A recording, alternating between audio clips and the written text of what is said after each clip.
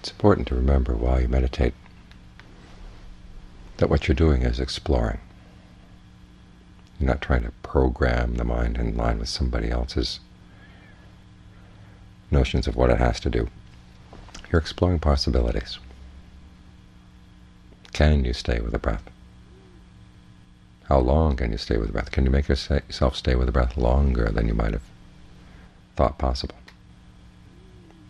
Where are the little gaps where mindfulness lapses? Can you bridge those gaps? Can you relate to the breath in a friendly way? These are the questions you set up, and then you explore. This is important to remember that even though the Buddha has explored this territory himself and all the noble disciples have explored it, they've sent back reports on what can be found here. Still, for each of us, it's a process of exploration. We're testing the Buddha's teachings. Is it possible, as he said, to find true happiness, a happiness that doesn't change? All he asks is that we keep our questions in the right, pointed in the right direction. As you sit and meditate, many times you come up with interesting insights, uncover things about the mind that you didn't had never noticed before, possibilities that you had never realized were possible. Many times a weight is lifted off the mind. And many times our tendency is to focus on the outside. You suddenly see the new wor the world in a new way. The world is like this. The world is like that. Those aren't the insights that the Buddha fo focused on. It more mm-hmm. focused more on what is it possible for the mind to do. Can it mm-hmm. operate in a way that it doesn't create suffering for itself? Then, as you meditate, you begin to catch sight of little moments in the mind where things seem a lot less weighty than they did before. You feel less weighed down by different concerns, either long-term weights that you placed on the mind or just short-term ones. But it's important in each of those cases to turn around and look, what did, you just, what did you just learn about how the mind can function? How the mind has been functioning in better ways that you suddenly discovered. Sometimes it's a general psychological issue. People have problems with guilt and blame suddenly find that they have a moment without that guilt and blame. It's possible to look at the world without the guilt and blame. That's an important insight, just to remind yourself it is possible. You don't have to carry these things around. But as to what that says about the world, if possible to live in the world without being guilty, without having blame, that's a more controversial issue. But that's not what the Buddha said to focus on. You focus on the fact that it is possible for you not to be carrying this weight around continually the next time it comes up and you detect it, you realize you have the choice of putting it down. Just the realization that you could do it at one point, that's liberating. Remind yourself there is a possibility. Sometimes the insights are related more directly to the meditation itself. It's possible to relate to the breath in a particular way. It's possible to relate to your feelings in a particular way. In other words, you don't have to identify with them. You begin to see them. The awareness really is separate from these things. It doesn't have to take on lay claim to these things as being yours. That opens up a possibility in the mind. You see for a moment the mind was totally without any sense of identification with these things. It's possible. I think as many of these habits or these possibilities we uncover in the mind are skills that we've mastered in other areas. It's just we haven't applied them consistently. Many times feelings do come up in the mind, we don't identify with them, but we don't notice the fact. What we notice in the meditation is it's possible to apply that skill in areas we hadn't applied it before. This is why it's so important when a particular state arises in the mind, you try to maintain it in all sorts of different situations. Because that's what the insight consisted of, is realizing that the habit you had before which was useful in one area of your life, is actually can be used in other areas.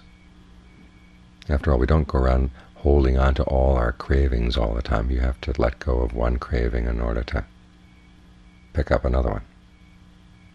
So the, the habit of letting go of craving is something we all have. Our problem is that once we let go of one craving, it's because another one has come in to seem more compelling. We let go of one craving only to pick up another one. But we do have that ability to let go of a craving. Our problem is we do it unconsciously, and we do it as part of another process of picking up something else. But what the Buddha wants to teach us is you can let go, let go, let go, let go. If something is causing you suffering, if something is causing you pain, you can let it go. It might still be hanging around, but you're not holding on to it. That's what makes all the difference in the world. It's like living near fire. As long as you're not grasping the fire, you're okay. You don't have to drive fire out of the world, and if you tried, of course, it'd be impossible. But you learn all you have to do is just let go of it, and you're okay. You don't have to grab hold. Our problem is that we learn how to let go of one fire, but we find other kinds of fire, and we hold on to those. We think that somehow it's different. These are the funniest fires you have to hold on to. That other fire you could let go. Well, that's because it's an unimportant case. But these other ones are more important, or they're in the mind. You have to hold on to anything that comes into the mind. An important part of insight is realizing you don't have to hold on. Things can be there in the mind. You don't have to lay claim to them. You don't have to let yourself be influenced by them. It's possible. And you try to apply that possibility to other areas of your life, areas that you wouldn't have thought of before. But you begin to realize that you do have these habits that you carry around with you. Just focusing on the breath. If you try it continually, you begin to find that all the issues that you used to create around any activity, any job, any responsibility, they're going to come in and mess up the breath. Which is why this is such a good place to take them on. Because after all, the breath is going to come in, it's going to go out. You don't have to do the pushing in, the pulling out. And when you realize that, you begin to see habits that you picked, picked up from other jobs, other responsibilities that are totally irrelevant here and actually get in the way. When you see them clearly how they do get in the way here, remember that, because they often get in the way in other activities in life as well. So the breath is a good testing ground. Remember years back when I first went to stay with the Ajaan Fuang, he said, your only responsibility is to stay with the breath. And he meant in a way to clear away my thoughts of other responsibilities. What it did, of course, was make the breath seem suddenly onerous. It was that weight. It was a responsibility all of a sudden. But then as I worked with it, one of the big lessons came in learning how to be with that responsibility and not, not make it a weight, not make it a burden. After all, why should the breath be a burden? It's what you do to stay alive. It's the basic process, basic force that keeps you alive. There's a good lesson in seeing how the mind can create problems out of even the simplest things things that are in its own interest, learning how to be with the breath comfortably, learning how to breathe comfortably. All of a sudden that became a big issue, a big weight. And if you step back a little bit, you realize how ridiculous that is. It's that ability to step back and look at things and say, wait a minute, this is not right. Creating unnecessary problems for myself. It's in seeing that they're unnecessary. That's when you can let them go and noticing how you let them go. That's an important thing to notice as well. Because then you can take that insight and apply it to other places where you're making yourself miserable for no good reason at all. And you realize it's possible to let go. Even though there are problems in the world, there are issues in the world, things you've got to be responsible for, you don't have to weigh yourself down with them. It's possible. This is what the insights are all about, seeing possibilities in the mind possibilities for letting go of old habits that create suffering. So anything new comes up in the mind, keep reflecting back on that. What did that uh, show about, or what does this new thing, this new state that you have in mind show about the possibilities of the mind, the way it can relate to things that involves less suffering? Keep your, the questions of your insights directed in that area, and you find that you learn useful things. We're talking today about the issue of the insight and suddenly seeing that the world is perfect as it is. That's directing your attention in the wrong direction. You're not supposed to think about the world as being perfect or imperfect. Look around and say, what did that just teach you about the mind? The way the imperfection of the world is a burden. But do you feel personally responsible for it? Do you carry guilt around around it? Is it possible not to carry that guilt? That's the important question of the insight because that then becomes a skill you can apply to other things. If your attention gets directed out to the world, whether the world's perfect or not, you can argue for days and days and days and get nowhere at all. But if you look at the inside as a opportunity to see that you've developed a new skill in the mind, you could drop a particular way of thinking. Then you remember that skill. You can apply that in other areas as well. This is why there's the emphasis. Ajaan Fuang was not interested in hearing about your meditation experiences unless you could keep them going for a while. So his emphasis was, okay, can you, you talked about a meditation state, he'd say, oh, you're in there right now? You say, well, no. He'd say, go, go back and work on it. Bring it to me. That's when you've had an insight like this. Okay, see if you can maintain that skill. After all, it is a skill. Whatever you learned, look at it as a skill that you just learned, a new possibility in the mind, and see if you can apply that, how much you can apply that skill to other areas. That's your test of your insight. Some skills are universally applicable, others are more useful only for specific problems that come up in the mind. Well, you learn a lesson by trying to apply it to everything and then seeing, well, it doesn't work here, it doesn't work there, but it does work here.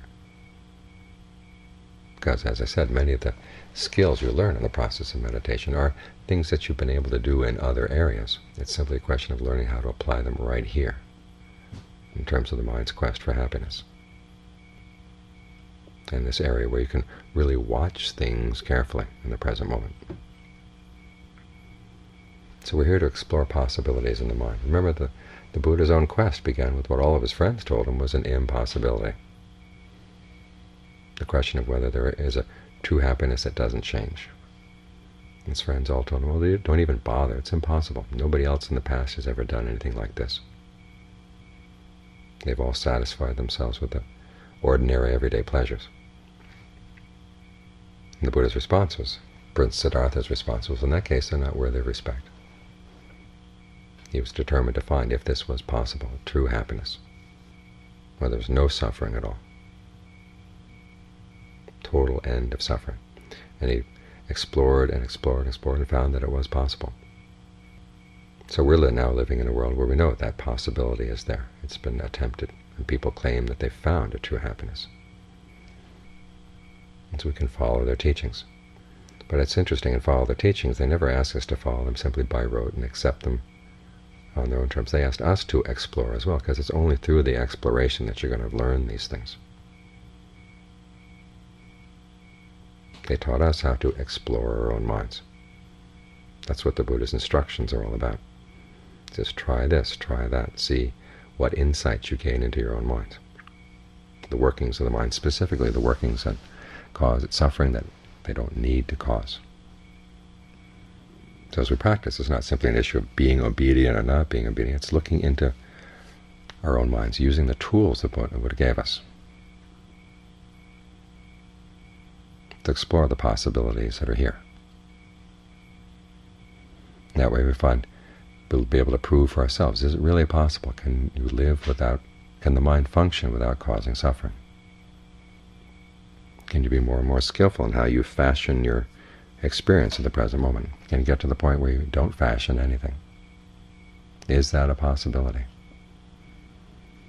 The only way you can answer that is to keep exploring on your own. But the payoff is great. Even if you don't get all the way to full awakening, you find that you do learn ways of causing less and less and less suffering for yourself all the time. That in itself is worth it the insights you gain. If they're genuine, they're their own their own reward. I've mentioned several times that Ajaan Fuang never went around certifying the fact that you attained a particular level of concentration or attained a particular level of insight.